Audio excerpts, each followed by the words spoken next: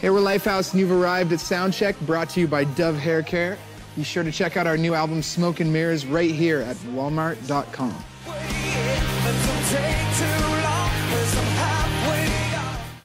New reinvented Dove with fiber actives takes care of the damage. Available at Walmart.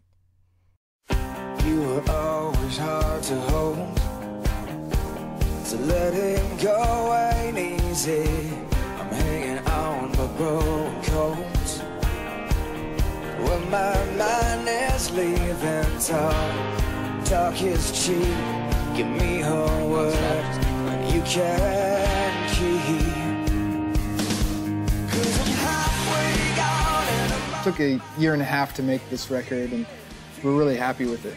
The album's called Smoke and Mirrors. Smoke and Mirrors was the first track that we recorded for the record. What we wanted to do in the beginning was to kind of capture the essence of what we've been doing live over the course of the last three years on our last record, Who We Are. And we realized we were missing kind of the big piece that keeps Lifehouse alive, which is you know the radio. So we started getting back to the record making process and you know creating these radio friendly pop songs. So those songs infused with the uh, you know the live rock songs kind of ambiguously ties into the title Smoke and Mirrors.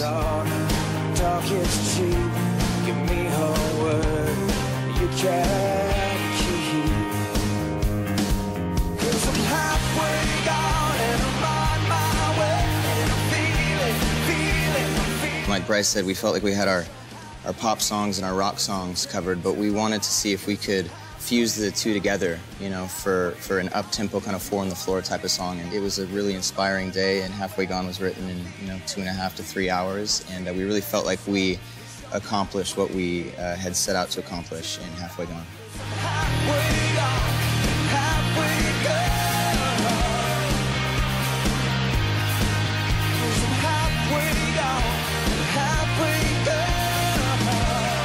We had a lot of influences on this record, pulled from Tom Petty and a lot of classic rock stuff, but at the same time listening to, you know, obviously Kevin Rudolf, who we worked with, and other, you know, present pop songs. And, you know, we just wanted to raise the bar on this record and make sure that we made the best record we possibly could. And we're proud of this record. I feel like sonically we really experimented on this record as well. I know Bryce uh, experimented with some synth basses. Rick uh, bought an MPC, and so there's some more electronics going on on this album. And predominantly in the past, it, we've made just two guitars, bass, drums, and vocals. That kind of organic record, you know. So I feel like we've kind of pushed the sonic space a little bit, and that keeps it interesting and fresh for us as well. The whole process has been completely different than any record I've ever made in the past. I've I co-wrote with the guys for the first time on this record on a song called Wrecking Ball. Did a lot of uh, co-writing with Jude Cole, who's our manager producer for the last two records. Like you said, Chris Daughtry, Kevin Rudolf. I just feel like I was at the point in my life where I needed a different vantage point uh, to write from. So it was a, a learning curve for me, but I think a, a necessary one.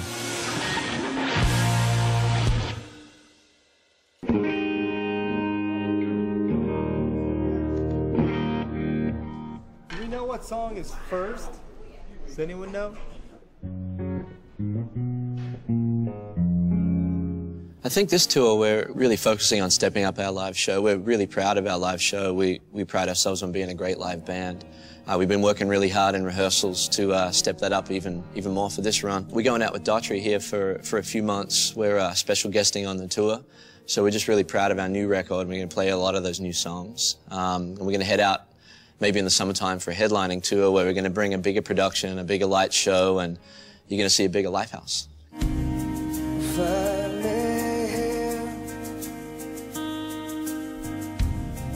to me. I want to feel you. I need to hear you. You know, I feel like we're one of the few bands that actually, when we get off the road, two days goes by and we actually call each other and see, you know, invite each other over for barbecues or, for dinners or, or whatnot. And on the road, I think a lot of bands get really sick of each other, and, and that's what breaks up most bands is just the personality conflicts. And I think that we're really lucky that, you know, we're four guys that actually like to hang out with each other, and that's 90% of being out on the road. You're on stage for 75 minutes, and then you're living in a tour bus together, you know? So we are very fortunate that we all uh, enjoy each, other, each other's company. It's kind of like summer camp all year long. You just pack a bunch of dudes on a tour bus, and you got your candy drawer and your chips, and you know your showers. It's fun.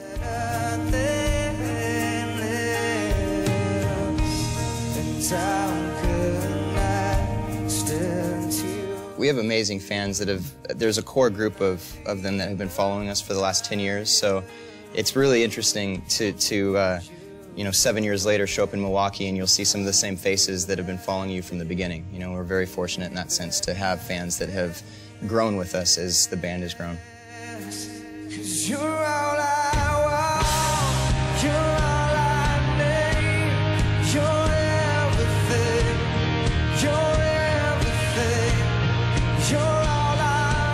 a lot of our fans have been, you know, involved recently online, and I think that's a big part of the music industry these days. It's not like it was in the 70s when all you do is look at the record, and that's as close as you get to your, you know, your favorite band. Nowadays, you connect online, and our fans have been really involved on Twitter and MySpace and Facebook. We asked them what they thought would be a great next single, and they all, you know, put in their two cents, and um, you know, it's just good to kind of have that interaction. It's healthy.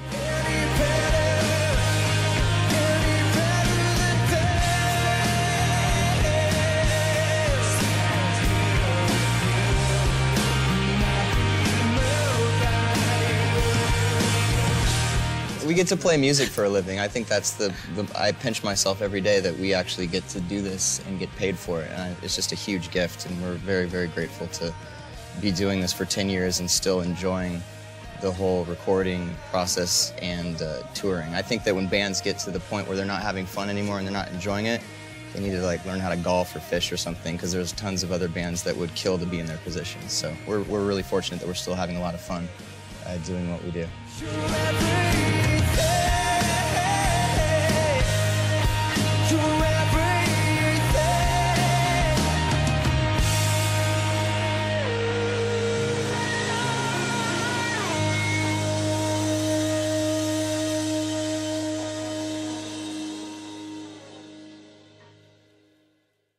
My personal favorite right now is Halfway Gone. I really think that it's something really fresh for the band. It sounds different than anything we've ever recorded before, and uh, it's a lot of fun to play live too.